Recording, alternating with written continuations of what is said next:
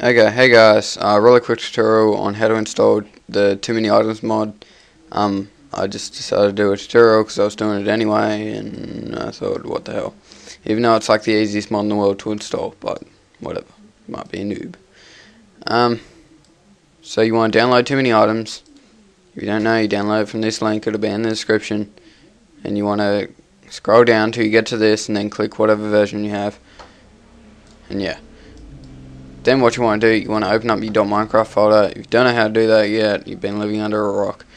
Um, go to your search, type in percent app data percent, and then roaming should come up. Click that, or you can just press Windows R, and then type in percent app, app data percent there, and open it, and it'll open as well.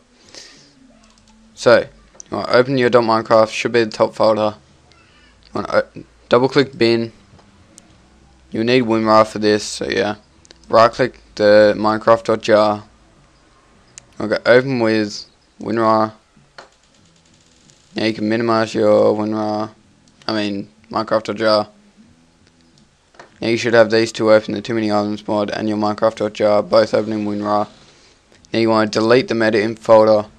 As always make sure you have your Minecraft closed by the way should know that already, but yeah.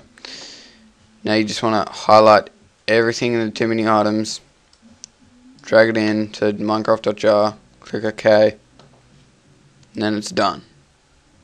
Make sure you delete that meta in folder though, otherwise it won't work. Now you can open up your Minecraft.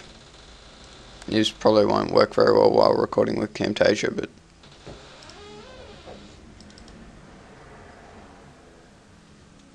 uh, it always does this when I record with Camtasia. I don't know why.